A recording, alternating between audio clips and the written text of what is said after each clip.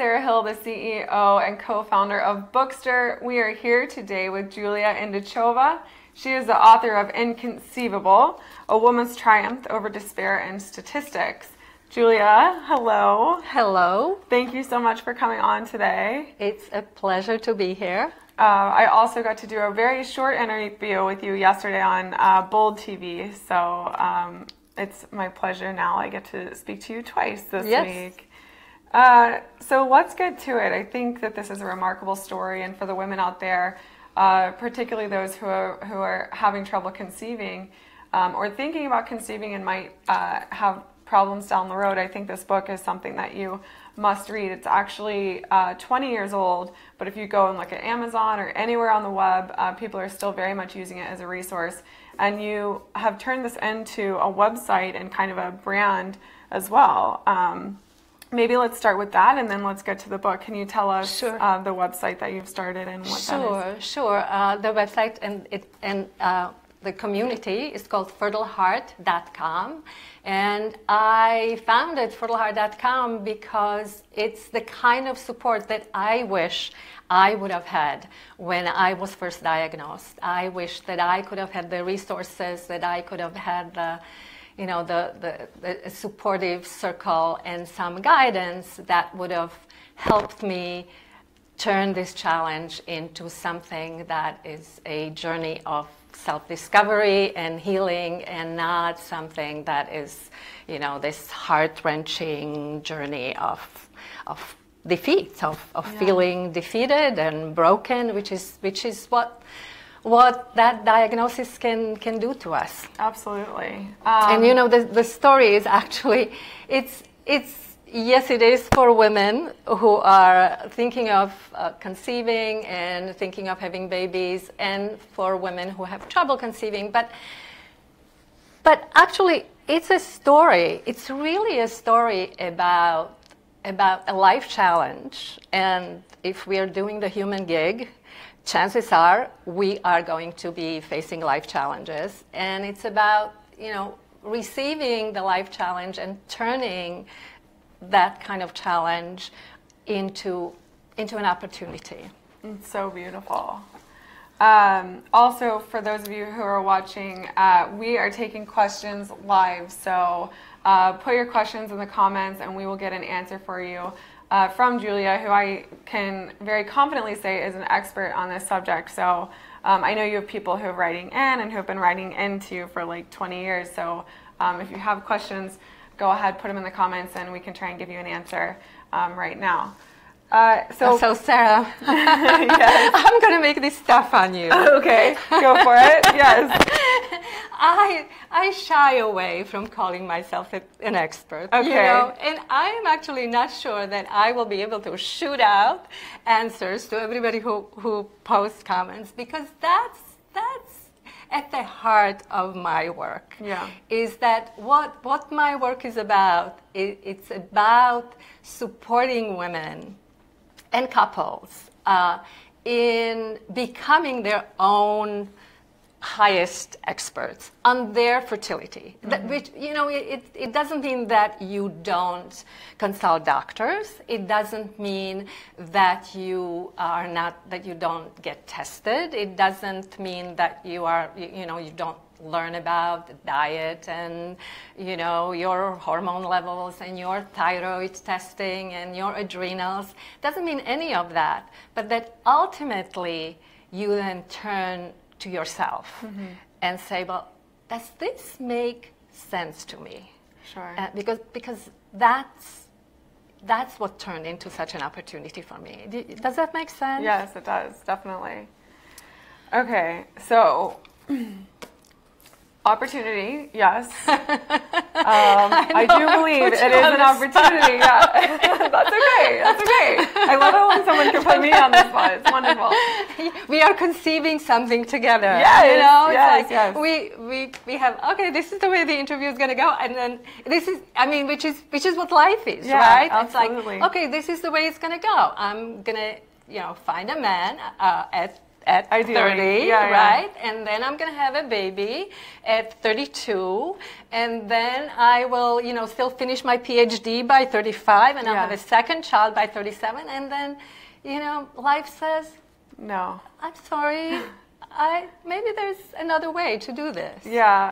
So we can buy into this idea of the statistics. We can buy into the fact that at 35 it's over for us, and we can get, we can really get sucked into what I call the panic of the last good egg. You know. Oh no. And Yeah. and we but but we also have a we have a choice. We have we have a choice in how we take care of ourselves, and in in and it certainly makes a difference.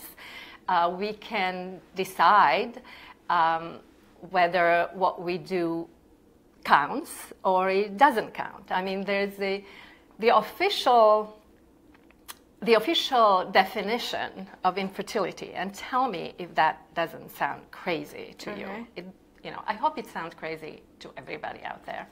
Is that after a year of unprotected intercourse, when you are under 35, if you if you go through a year of unprotected intercourse and you're not pregnant, and if you're over 35, if you go through six months of unprotected intercourse, you are diagnosed. You are so-called infertile.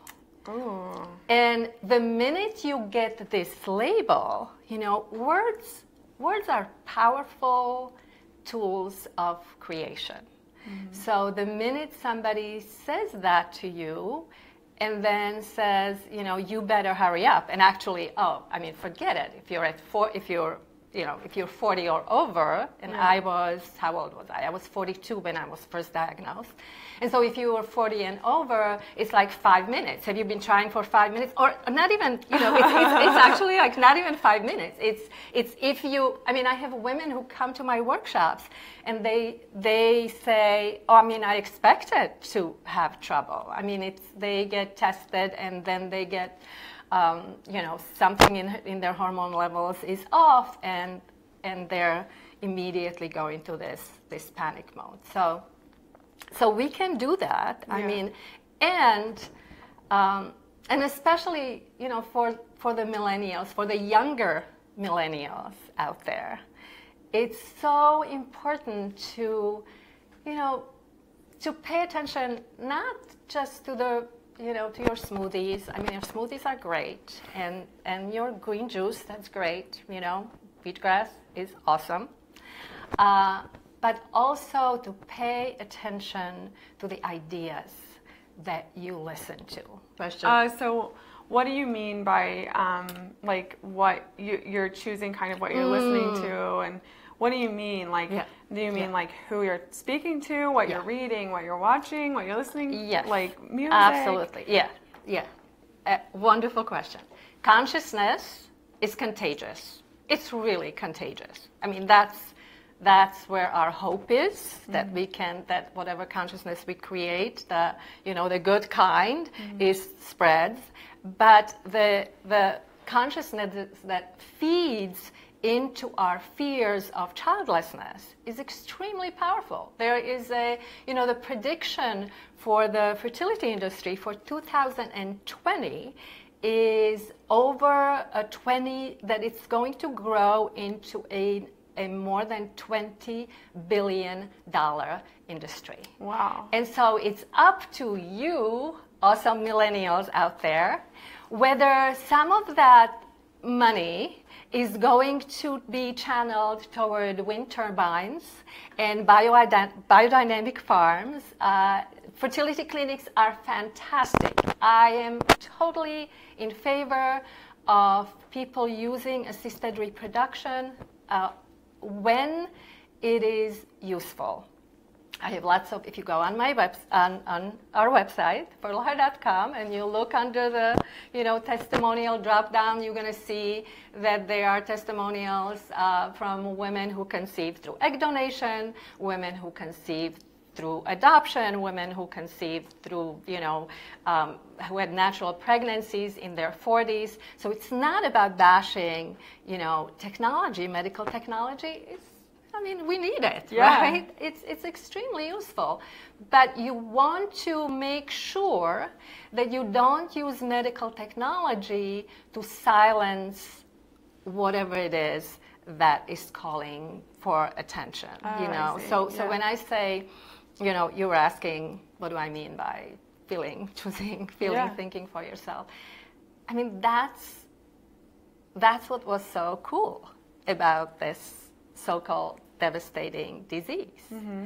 is that for the first time in my life really for the first time in my life i gave myself permission to do my own thinking you know when it came to to this major life challenge i wouldn't have been able to uh, to write a book if i hadn't gone through this experience you Yeah. know it, it really was the very first time where i where it was lucky i mean it was my great luck Yeah. that the experts could not help me because I would not have gone through this. Well, and. I can only imagine how many people now are thankful that you went through it as well because you've helped them, you know, them or their child, uh, you know, be brought onto Earth, which Well- is insane. Well, I am uh, I am incredibly blessed, uh, you know, for being able to do this work and and engaging with people in, in such a such an intimate way. It's like it's the best job I ever had. I could not have come up with. You know, speaking Yeah, of the yeah, plan, yeah. we were talking about the plan. There's no way that I could have planned this. It's like sure. life has an HR department that says, okay, this is a good job for you, Julia.